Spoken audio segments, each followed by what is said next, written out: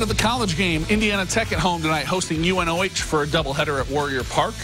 Game one, Racers up one in the fourth, adding to it. Allie Cumming gets a hold of this one, puts it over the right field fence for the two-run homer.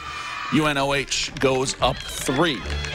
Warriors looking to answer in the bottom half. Peyton Robinson ropes a ball to left for Tech's first hit of the game, and then Next batter, Amanda Shanka. She hits a chopper up the middle. It gets through for the base knock.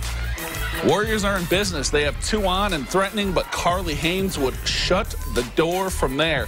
Here she is with one punch out and then another. The freshman from Antwerp goes the distance. She punches out 13. UNOH takes game one, 5 nothing. They take game two as well, 2 to 1.